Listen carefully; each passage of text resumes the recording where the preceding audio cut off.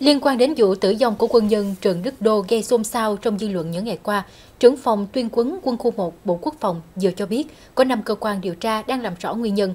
Nếu có dấu hiệu tội phạm, các cơ quan tố tụng sẽ khởi tố vụ án để mở rộng điều tra.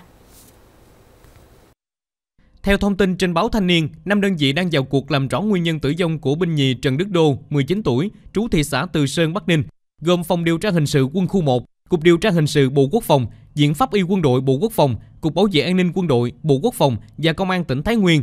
Các cơ quan điều tra làm việc độc lập.